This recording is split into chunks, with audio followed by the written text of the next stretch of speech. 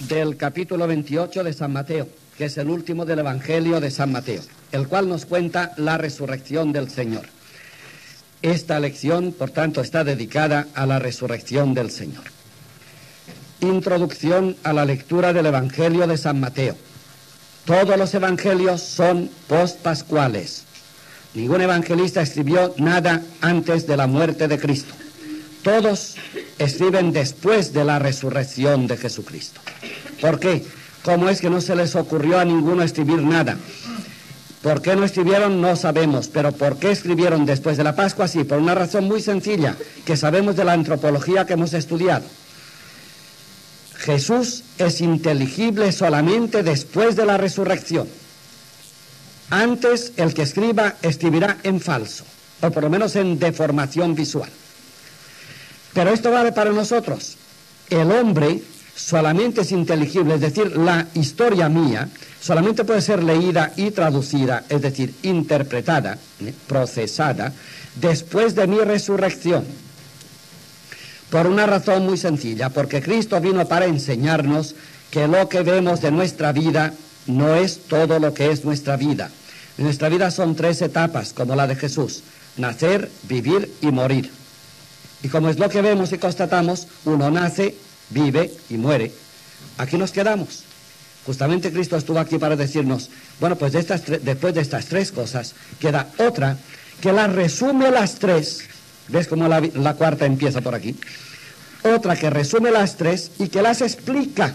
Es decir, la vida, el nacimiento, la vida y la muerte de un hombre en sí nos explican. Son piezas de un conjunto que no está completo y por tanto no ves el conjunto. La vida del hombre son cuatro etapas. Nacer, vivir, morir y resucitar, que es lo que hace Cristo. Y solamente después de la resurrección, cuando toda la película está pasada, es interpretable la vida del hombre. Por esto, todas aquellas antropologías que ven al hombre y le juzgan por estas tres etapas, por la cinta de su vida visible, se pierden. El hombre se lee solo después de su resurrección. Por eso los evangelios son todos post-pascuales. Por esto vamos al encuentro ahora, dentro de dos semanas, a, encuentro de una realidad que no sobre la interpretación es la interpretación de la vida de Cristo, sino de nuestra propia vida. Y de hecho, si Cristo no resucitó, vana es nuestra fe, dice San Pablo. Y igual para nosotros. Si yo no he de resucitar, ya las afirmaciones se hacen interrogantes. ¿Para qué nací? ¿Para qué vivo? ¿Y para qué muero? Si no resucito, no tiene sentido. Se vacían de sentido. Es decir, si las tres no desembocan en la resurrección, en una vida definitiva, estas tres cosas no tienen sentido ninguno. En cambio, esta vida definitiva tiene un peligro también, y es ver que, bueno, pues como nacer, vivir y morir no tiene sentido, lo que tiene sentido es resucitar. Esto lo han dicho los cristianos a veces, esto está muy mal dicho. Como nacer, vivir y morir no tiene sentido, lo que tiene sentido es resucitar. Eso no es verdad. Si resucitamos, nacer, vivir y morir tienen sentido. Con lo cual la resurrección está entrando por el nacer, vivir y morir. Es lo que hemos dicho antes. Yo ya resucito cuando nazco, si nazco como toca. Y yo ya resucito cuando vivo, si vivo como toca, si rompo andadores, por ejemplo. Y yo ya resucito cuando muero, si muero como toca. ¿Ve cómo el reino de Dios se va metiendo en las estructuras de la vida? Uno no puede vivir bien sin que el reino de Dios se acerque.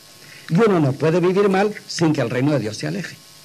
Por tanto, las cuatro tienen sentido, pero la última, la resurrección, es la lectura de toda la vida, nacer, vivir y morir. Esto es lo que nos presentan sobre la resurrección de Cristo los evangelistas. No solamente la resurrección de Cristo hace que ellos puedan escribir, sino que hace que ellos interpreten bien la vida de Cristo. Y por esto los evangelistas nos cuentan la resurrección del Señor. Y yo quisiera que ya que hacemos un curso de cristianismo de futuro, eh, esta visión sea por lo menos válida durante unos años, no muchos más. Los que tengan otra visión de la resurrección, una de dos, o la tienen vieja y son andadores, o la tienen súper nueva y hay que seguir por ella. Pero la que diré yo es la de aquí, la que sabemos ahora. Y les va a durar si es bueno, un año o dos o tres, pero no más, no hagan andadores de esto que no son andadores. Esto es para caminar. a otro concepto de resurrección. Y de hecho, después de dos mil años de historia cristiana, hoy tenemos una visión, una lectura del texto de la resurrección del Señor como no había tenido la Iglesia nunca más que en las comunidades para las cuales se escribió este Evangelio. El de San Mateo concretamente para la comunidad de Siria, que hoy está en tanto lío una pequeñísima comunidad, pero que vivía intensamente la presencia de Jesús. Los cristianos sabían que Jesús, que ya se fue en la ascensión, solamente puede ser encontrado en la comunidad. Y esto las comunidades cristianas de hoy no lo saben. Si una persona busca a Cristo en nuestro mundo, solo lo puede encontrar en nuestras comunidades. Lo que pasa es que como las comunidades no lo saben y no son transparentes, los que buscan a Cristo en nuestro mundo no lo encuentran en las comunidades cristianas. Bueno, pues vamos a reanimar las comunidades cristianas con esta lectura del Evangelio de San Mateo que está lleno de simbología. Una simbología de una vida profundísimamente vivida. De antemano digo que lo que les diga, por nuevo que les parezca, a lo mejor no, ya no será tan nuevo, pero si les parece nuevo, les tengo que decir que ciertamente, y además ya se intuye, que lo que vamos a decir hoy es muy inestable, es decir, es nuevo, pero nuevo con una novedad que empieza, no con una novedad que termina. Esto inaugura lo nuevo. Y si ustedes ven mucha mitología y se les entra el demonio que aquí existe, el demonio que les dice, esto es pura mitología, pura lucubración, yo les digo lo contrario. La pena es no poder entrar todavía en profundidades en esta mitología, que es insondable. Es decir, que lo que digo no tiene ningún peligro, más que el de ser corto, pero largo no es. Así que ustedes pueden embarcarse por estos caminos hacia la libertad y el amor y romper todos los andadores. Fíjense, primero, leo el texto de San Mateo. Después del sábado, al alborear el primer día, esto ya es mitología, el primer día después del sábado, el sábado es la fiesta de los judíos. Y el primer día después del sábado es el día después del sábado. Que a partir de ahora será la fiesta de los cristianos, el domingo. O sea que estamos leyendo el alborear del primer domingo de la creación. Así, sin más. Escribe San Mateo para una comunidad viva, centelleante. De dos docenas de cristianos más, además acosaditos, arrugados porque los romanos estaban encima y además la cultura griega los humillaba. Y nosotros y San Mateo ahora les va a decir lo que es Cristo de verdad a una comunidad que lo tiene presente, que sabe que Cristo vive con ella, pero que quiere oír hablar de Jesucristo que ya hace 40 años que se fue a la eternidad. Después del sábado, al alborear el primer día, San Mateo les está diciendo, por tanto, este día es el que celebramos nosotros, el domingo titubeante están haciendo en las comunidades cristianas y San Mateo lo subraya. Este domingo que estamos titubeantemente celebrando, celebrando es justamente el día de la resurrección del Señor. Y ahora primera sorpresa. Este primer día, al alborear del primer día, el domingo que se inaugura, fueron María Magdalena y otra, y otra María al sepulcro. Marcos 16, Lucas 24 y Juan 20 dicen lo mismo. Es decir, fíjense, para los evangelistas, lo que sucedió el domingo que llamamos ahora de Pascua, que es el domingo de todos los domingos, en el cual beben dominicalidad todos los domingos, puesto que los domingos son dominica días, el día del Señor, y el Señor resucitó el día de la Pascua, en el alborear de este domingo, las mujeres fueron al sepulcro las mujeres. Los hombres, nada. Está con toda intención. Pero con una intención que ustedes ya conocen. No crean, lo, lo, pongo porque los datos son fáciles de retener, pero también son fáciles de olvidar. Y será mejor que no los olvidemos. Por otra parte, mientras escribo el primer dato, recuerden que en antropología y en mitología simbólica, ya tenemos estudiado el papel de la mujer, que ahora vamos a subrayar, pero que como estamos haciendo cristianismo del siglo XXI, ya hemos dicho a lo largo del año y en otras ocasiones que el siglo XXI es el siglo del descubrimiento de la parte femenina de la humanidad. Es decir, que el domingo, que es Pascua, fue inaugurado o descubierto por las mujeres. Primer dato. Es decir, que debemos el domingo a las mujeres. Lo curioso es que este domingo para los evangelistas tiene relación directa, claro, esto, esto no me toca decirlo, pero lo digo, todo el tema de la salvación, que es la segunda etapa de la historia humana, se corresponde paralelamente a la primera etapa, que es la creación. Hay creación, redención y consumación. Pues la redención o salvación por Cristo es la segunda etapa, pero es paralela con la primera. Por esto, si la primera etapa empieza en el principio, creó Dios el cielo y la tierra, San Juan empieza la segunda, su evangelio. En el principio era el verbo y el verbo. Etapas paralelas. O sea que la creación es para la encarnación. Ahora pasa lo mismo con los domingos. El libro de la creación nos dice, Dios trabajó durante seis días, creó todo, creó al hombre y el séptimo día descansó. Y San Agustín nos dice, y el séptimo día somos nosotros. Septimus dies nos ipsi sumus. El séptimo día somos nosotros, el domingo.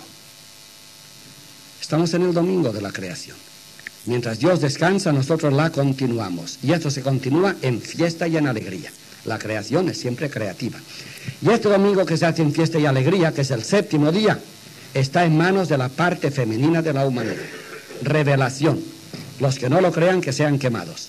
Que venga Torquemada y que dé cuenta de ellos. Es lo que estamos descubriendo, justamente después de tantos siglos de que la humanidad crezca por lo masculino, lo cual nos ha ido muy bien hasta llegar a unas técnicas increíbles, esto, el discurso es masculino, lo femenino queda relegado y ahora empieza, no precisamente por las feministas que lo que quieren es masculinizarse, es decir, estropear lo femenino, lo cual es horrible, sino por las feministas de verdad que quieren ser feministas siendo femeninas. Esta es la promoción de la mujer. Las feministas que dicen que la mujer ha de ser como el hombre, están diciendo, la mujer como es tan poca cosa, no será nada si no se hace como el hombre. Están despreciando a la mujer. Las verdaderas feministas dicen, la mujer tiene valores autónomos tan evidentes y sólidos que ha de correr par, a la par con el hombre. Pero la humanidad va descubriendo todo esto poco a poco. Pero también hay que decir, y ahora, ahora es lo que subrayaré, que siempre que hablamos de lo femenino, decimos, primero, dos cosas también paralelas. Aprendan hoy la, la Zweistufentheologie, que es importante. Lo que diga sucesivamente, porque no puedo hablar en dos canales, ojalá, o en tres, estaríamos salvados. Si podemos decir las cosas paralelas paralelamente, estaríamos salvados. Pero estamos condenados a decir cosas paralelas longitudinalmente, esto nos mata. Porque el auditorio cree que lo que dices continuado, pues va continuado. Cuando te dices, no, lo que acabo de decir ahora hay que sobreponerlo a lo que dije hace cinco minutos. Y esto es, terrible. Bueno, pues vamos a hacer estos peldaños, pero contemporáneos, ¿eh? superpuestos de teología. Ya he dicho que la creación primer peldaño, se corresponde con la redención y por tanto se cuentan las cosas a la par y hay que entenderlas a la par. La creación sostiene al mismo tiempo la salvación y la salvación se apoya en la creación y por esto el Génesis y el Evangelio tienen paridades o paralelos constantes. Segundo punto. Cuando decimos que lo masculino y lo femenino es lo humano, en esto decimos un primer peldaño, es el del Génesis. Dios creó al hombre, varón y mujer los creó. Ya, de entrada. Primer peldaño. O sea que Dios creó al hombre y esto que es lo masculino. No, no. Dios creó al hombre. Masculino y femenino los creó. Es decir, que el hombre, cuando es completo, es cuando es masculino y femenino. Por eso el núcleo social es el matrimonio. Bien, entonces, mm, varón y mujer los creó. Lo humano solo es completo cuando va junto lo masculino con lo femenino. Primera etapa. Ahora, segundo peldaño, al mismo tiempo que está encima. Pero es que lo masculino y lo femenino en las personas equilibradas se da en cada persona, en cada individuo humano. Todos somos masculino-femeninos. Si somos masculino-femeninos con preponderancia de lo masculino, somos masculinos. Si somos femenino-masculinos con preponderancia de lo femenino, somos, son mujeres. Bueno, esto no se olvide. Es decir, que Dios creó al hombre y creó al hombre hombre y mujer. Lo de hombre ya está mal dicho, varón y mujer. Muy bien en cuanto a los dos sexos separados. Pero ahora cada sexo también es varón y mujer. Lo que pasa es que el sexo es decidido por la preponderancia de una de las dos cosas. Hoy sabemos, por ejemplo, que nuestro cerebro está dividido en dos hemisferios, justamente un hemisferio masculino y un hemisferio femenino. Y esto quiero subrayar porque San Mateo, que no lo sabía, lo dijo. Eso se llama inspiración. Cuando uno sabe, cuando uno dice más de lo que sabe, o es tonto Esto sucede muchas veces o está inspirado. A ver, a ver si es así, si es así. Bueno, pues San Mateo dijo más de lo que sabía esta, esta vez. Volvamos a nuestro tema. Cada uno de nosotros tiene el cerebro partido. Entonces, la parte izquierda del cerebro gobierna el discurso, es decir, es un hilo, es longitudinal. Pensamos, es discursivo y discurrer es discurrir o descorrer.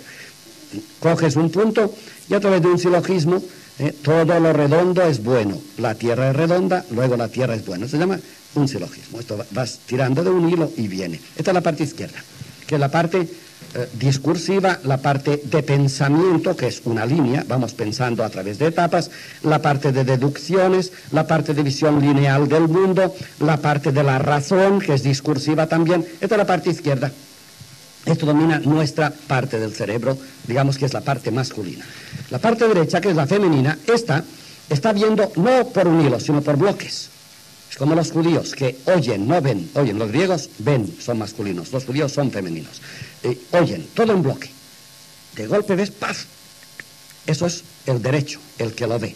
Es la intuición por bloques, por relámpagos, la visión geométrica, no aritmética de la vida, la intuición que no discurre, sino que de golpe dice, estoy seguro que está sucediendo. Lo has captado razonablemente, no se puede deducir. La intuición, la profecía, la simpatía, la antipatía, el amor. Esta es la parte femenina. Bien, todo lo tenemos. Ahora ya partamos de los dos peldaños. Lo humano está dividido en masculino femenino, mitad y mitad, no 75 y 25, como por la ley de España, sino mitad y mitad, media naranja por cada parte, y al estar equilibrado, y además dentro de nosotros, mitad y mitad, pero sí con una preponderancia, que es lo que distingue luego los sexos. Pero ahora viene el tema hermosísimo. La antropología, sobre todo Jung, el gran Jung, cuando hablaba de los arquetipos, ya decía, no solamente es que cada uno de nosotros está dividido en dos, masculino y femenino, y no solamente es que cada uno de nosotros tenemos posibilidades de hilar, es decir, de discurrir por silogismos, por la razón, y de sentir, es decir, de, de coger las cosas por bloques y captarlos de golpe, sino que es que además estamos construidos sobre esta doble base, de tal manera que no podemos caminar en la vida, sino caminando sobre este entramado, esta arquitectura interior que es simbólica, ahora lo veremos, y que es en el fondo del todo un entrelazado de lo masculino y lo femenino con predominancias en cada uno de nosotros. Bien, si esto es así, decía Jung, habrá que decir que lo humano prospera, va adelante, es decir, el hombre se enriquece, tanto por un lado como por otro. Por tanto, nos enriquecemos cuando pensamos y llegamos a conclusiones inéditas. Pero también crecemos cuando, sin saber por qué, captamos una verdad, por ejemplo, una sensación, y también la aceptamos. Es decir, que el hombre es hombre tanto por lo que puede aceptar por discurso, cuanto por lo que puede aceptar más allá del discurso. El hombre que solamente acepta lo que puede pensar es puro femenino, puro masculino, es decir, una perversión humana. No será lo puro masculino. Y el hombre o mujer que solo aceptara lo que puede sentir, no se equivoca en el cuanto siente, pero es una perversión de lo humano. Lo humano completo es que tú puedas aceptar lo que puedes pensar y lo que no puedes pensar. Es decir, tú puedes pensar que lo que piensas es verdad, pero también puedes pensar que puede ser verdad lo que no piensas. Y eso es, esto ya no es discursivo, esto es pensamiento sentimental o sensitivo. Bueno, pues el hombre está construido sobre estas dos bases, somos masculinos femeninos. Y lo malo es percibir solo, como hacemos en el racionalismo, después de, de, tres siglos, después de la Revolución Francesa, hemos llegado a endiosar tanto la razón, ya lo hemos dicho aquí bastantes veces, que creemos que solamente lo razonable es lo que es válido y lo irracional no es válido. Te hablan de telepatía y dices, ¡Plah! no, la telepatía es una realidad. Lo que pasa es que no la dominamos. ¿Por qué? Porque es una cosa de lo femenino nuestro, lo femenino ha sido delegado, ha sido postergado durante siglos. Y no lo, no lo manipulamos. Es como si te pones un avión que tú no sabes manejar y dices, ¡Plah! no, te falta instrucción, nada más, el avión es bueno, ¿eh? La telepatía es una realidad y vuela perfectamente. Lo que faltan son pilotos. Y como los pilotos, la parte femenina, ha sido relegada muy lejos, no lo sabemos manejar. ¿Qué pasa con la telepatía? No tenemos intuiciones o sensaciones, sobre todo las mujeres, porque es, femenino esto. ¿Qué está pasando con mi hijo que está en Norteamérica? Y de golpe sientes, y al, cualquier día sabes y dices, justamente en aquel momento yo me enteré. Se reirán de ti, se reirán de ti los intelectuales, pero los completos no se reirán de ti.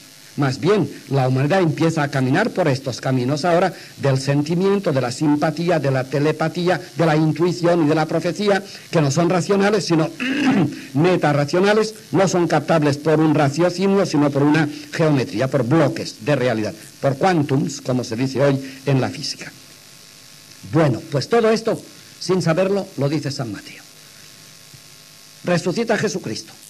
Notar bien que se trata del fenómeno fundamental de la humanidad, de la humanidad. Si Cristo no ha resucitado, vana es nuestra fe. Traducido en humanidad significa, si Cristo no ha resucitado, toda la humanidad está aquí inútilmente. ¿Para qué vivimos, nos movemos y existimos? ¿Para qué? ¿Y cómo se anuncia esta realidad? Fíjense, si yo les pudiera demostrar que Dios existe, quedarían ustedes muy satisfechos. ¡Ay, qué bien! Les habría engañado. Porque la existencia de Dios se capta por el sentimiento, no por la razón. Por eso, cuando Dios se presenta, pide la fe, que es un acto de entrega de la persona. Es el cuadro. Dios se presenta, no hace razón, como yo soy A más B y A más B al cuadrado es igual a C. No, Dios se presenta, ¿me aceptas sí o no?